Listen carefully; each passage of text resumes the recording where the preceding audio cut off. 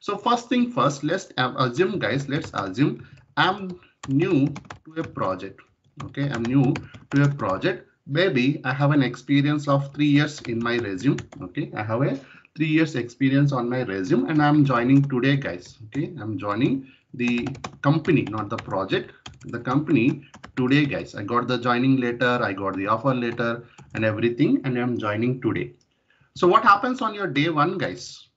The people who are non-IT guys, you may have to see this part so that you have a mindset how you need to prepare for your day one to day end. So on the day one, guys, what happens? Anyone who already have a experience, guys? Who already have an experience, day one. Mm -hmm. Okay. Uh, the formality of like onboarding happens actually. Very simple, guys. Nothing much. Okay. This is your like a kind of uh, free money, guys. Okay. This is kind of a free money on day one, guys. It will be like onboarding process, guys. Okay, onboarding process will be there. They may ask you to come around like 10 a.m. or they may ask you to come at 10, 10 or 11, something like that. Maybe you will come first, guys, but the HR will come around late, guys, always. Okay, I've been into many companies, guys, and every time the same thing. If they tell you to come at 10 o'clock, guys, they themselves will come at 11 o'clock. I don't know why. They want to showcase that they are busy or they want to showcase the time is different. I don't know. But as soon as you go and join the company, guys, you need to sign a lot of documents. Okay, lot of documents here. Make sure you have all your documents in your hand, guys. Don't try to say that I'll be giving tomorrow or next day like that. Your onboarding will be stopped and you need to wait for to get the next step to done. So make sure you have all the relevant documents, whatever you had. Now, Anil, I'm using a fake experience as such. Should I need to worry? No, guys, nothing like that. OK, on the onboarding process, nothing will happen. You need to keep your uh, offer letters. If I want to tell you, OK, you need to keep your offer letters here, something like this, basically. Then your uh, relieving letter, your experience letter. They are two different guys. OK, these are two reference here. The experience letters you need to keep with you. Uh, any previous job that you have in that particular detailed documents that you need a bank statement guys okay a bank statement is required to be very frank and if you already have a job guys you'll be having uh, generally called your pf account okay if you're working in india you'll be having a pf account guys that you may need it uh, then apart from this you may need some your KYC kind of PAN card kind of things, guys. Okay, keep a PAN card number here. Keep uh, kind of your Aadhaar number, something like that in your hand so that you may need to sign those things. And of course, on the onboarding day only, guys, you will get your bank account. You will get a bank account also to open. This is one of the good thing what you can get in a first job if it is a first job guys if you already have a job and everything guys these are nothing you know it okay but what happens here guys the most important thing what happens is they may introduce you to your team also okay on the very first day guys there is a high chance that they may introduce you to your own team or they may just keep it with you uh, in the whole day and then they ask you to come next day where they can introduce you to the team. Now day two guys okay? Day two here what is your expectation guys? Day two also guys, nothing much, nothing much here. In this case, you have no work guys, you have no work, but your manager guys, your manager will raise a request, okay, will raise a request to the access purpose, okay, access purpose to the systems guys that the, uh, the client, they will raise a request saying that a new resource has joined our project. We need some credentials for this particular resource. Now during this time, guys, it will take a week. OK, it will take a week of time sometimes. Uh, sometime it will take within two or three days also. You should be ready for that. During this time, guys, within this particular day three to day seven, something like first one week, guys, you'll be having a KT session. What is a KT sessions, guys? What does it mean by KT sessions?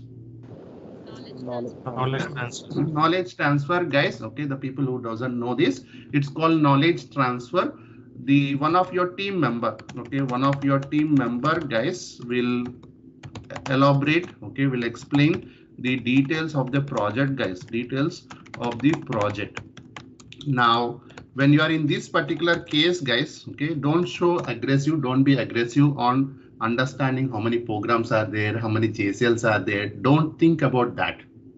What you need to think about is first question, is it a batch or online application?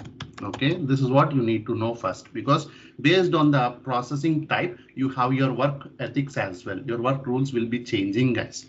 The second thing here, okay, the second thing that you need to know here is what kind of tools are used because you know COBOL. You don't need to ask any question on COBOL. You don't need to ask any question on JCL or anything on DB2 or CICS. Forget about those four modules. That is part of your training, what we am covering. But what you need to know is what tools are used in that particular project, guys. Now, very important. This is very simple thing, but very important, guys. So used in that particular project here. Now, why it is important? First thing, guys, first thing what it is important is if they say, okay, if they say that they're having a tool called uh, the changeman. Okay, if they say that in their project they have a changeman as the tool. Now you always, okay, from here onwards, you need to say always in your previous project you were having Endevor tool. Okay, I'll write it in the next line for you. It's very important, guys. This is very important to the people who are going with an experience resume. And I'm assuming like that only, guys. Okay, I'm assuming every one of you are going with an experience that you really doesn't have. Okay, so if the project is having a changeman tool, okay, if the project is using a changeman tool, you always, okay, should tell that you had experience on Endevor tool. Why so? Why so, guys? We don't know much about this tool.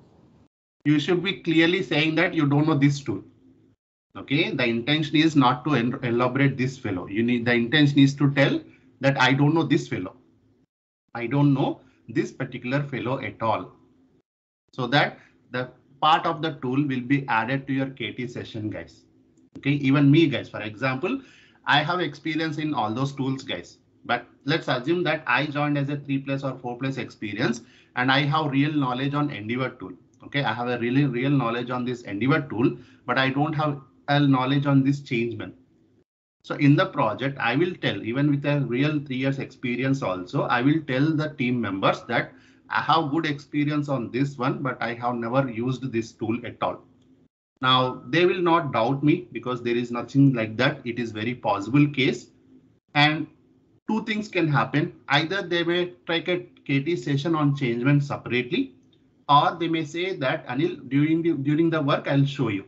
During the work I'll show you. You can catch up that tool in a minute. So that's an easy part, guys. OK, these tools are very easy. For example, guys, how much time you took to learn a file manager tool and use a copybook to see the file, guys? In our training, how much time you took to see a file manager tool and open the file with a copybook? Did I took a special class for that? No. Did we took hundreds of hours, guys? No. Just two minutes at the end of the class, I showed you that this is a tool you need to use. How much time I showed you a SPUFI tool, guys? How much time I showed you a SPUFI tool to run a query? Just two minutes. Just two, three minutes only, right? So basically tools like this kind of tools, guys, they some of the tools you may need some 20 minutes of session. Some of the tools you just need 10 minutes of session, guys. So tools are easy. In the project also, you can learn them directly also, guys. But why you are learning this tool such an important, guys, is to polish your answer in the interview properly. Okay, tools are important to get your job, guys. Now, again, like I said, okay, let's go back here in one week, guys, all the KT sessions are completed. And again, I want to know, you need to prepare, you need to ask for the environment details, guys. What are the environment details means? What does this mean, guys? The TSO test or prod. What is the environment for test and prod? For your uh, DB2, what is the SSID for test and prod? What is the schema name for test and prod here? Uh, what are the naming conventions, guys? What is the naming conventions for COBOL what is the naming convention for JCL, what are the naming conventions of your control cards, what are the naming conventions of copybook, what is the naming conventions for your plan, packages, everything. This is a technical point which you are learning the environment. You are not asking them what is the COBOL program Uh, length and what is the program contains. You're asking, give me the namings convention. You know this part. I have explained you how the naming convention you need to learn from project point. So during this KT phase, guys, you can assume that you are having zero work, but this knowledge transfer is important. And most important, guys, most important that you need to learn in this KT phase, possible KT phase is your data processing flow. That means if you are in application B, guys, okay, if you are in application B, you need to know after your application, after your data, your application data processing is completed, guys, where the data is going, okay, who is the end person, who is the end person who is using your data after processing? Also you need to know who is the source for your application as well guys from where you are getting the data when you are getting this kt guys don't learn cobol jcls that's what you did in our training.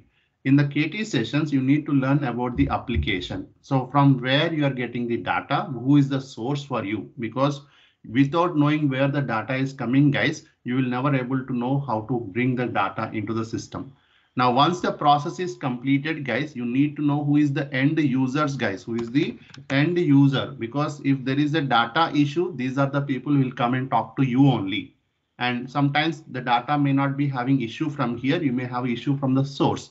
So this line of flow is important, guys. Maybe you'll be getting input from multiple sources. Maybe you'll be sending the output for multiple sources as well.